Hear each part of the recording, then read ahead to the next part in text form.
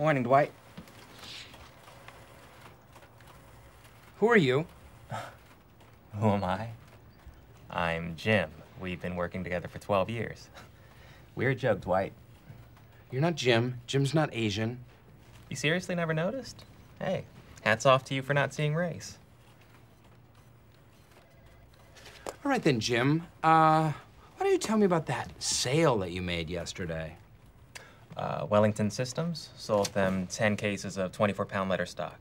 Or were you talking about Krieger Murphy? Because I didn't close that one yet. But I'm hoping I've got a voicemail from Paul Krieger waiting for me. Please enter your password.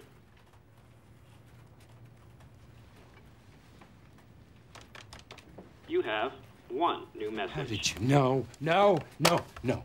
That is sensitive information only for employees, not outsiders. Dwight, cut it out. I'm trying to work. You don't work here. You're not Jim. Jim, I got us that dinner reservation. Greek Greco 7:30. Oh, great. Can't wait.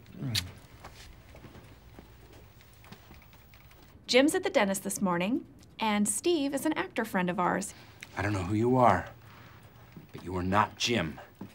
This is Jim.